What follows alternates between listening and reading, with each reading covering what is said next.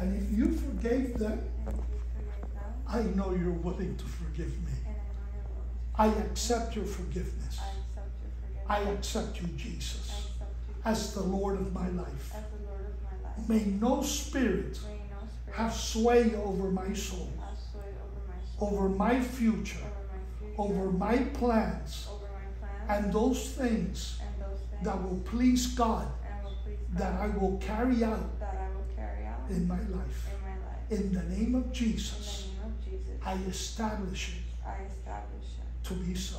and to be so.